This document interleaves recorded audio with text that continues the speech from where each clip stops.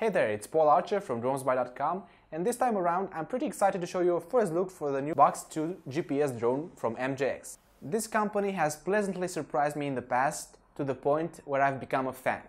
I won't let that stop me from being objective, but considering how good the Bugs 3 was, I have really high expectations for this new drone. This is going to be a short unboxing and overview, but expect a full review of it soon. So don't forget to subscribe. If you haven't yet seen the review for Bugs 3, go ahead and click here. Trust me, it's by far the best drone you can buy for around 100 bucks. These two drones are pretty similar from what I can see at the first glance. Even their boxes are similar, although the new Bugs 2 is a little smaller in size. The new quadcopter is looking very much alike the Bugs 3, and that's a good thing. Even the transmitter looks almost the same, besides, this time around, it's all black and comes with an LCD screen. Both the GPS and headless modes can be easily turned on and off by the press of a button, and there are commands for taking photos and video too.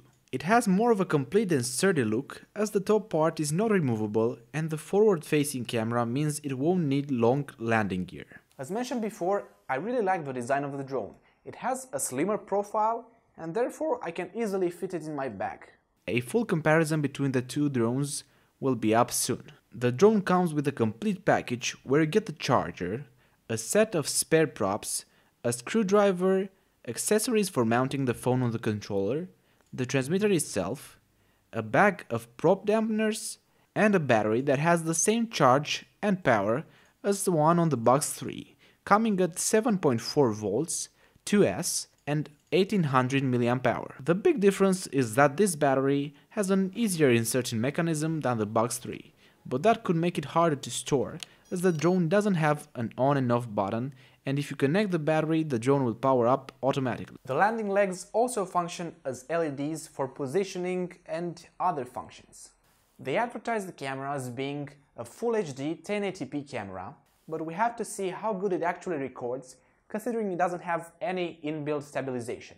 The drone flies pretty well and stable compared to any other non-GPS drone, but it's not perfect as it seems to drift sometimes.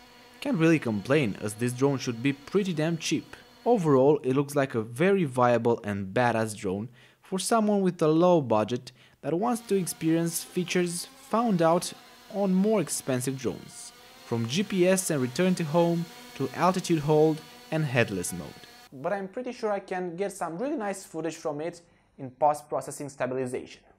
If you want to find more about it, don't forget to subscribe and click the notification bell to be one of the first to find out more details. And you'll even see how it records video. So, what are you waiting for? At least leave a comment down below. See ya!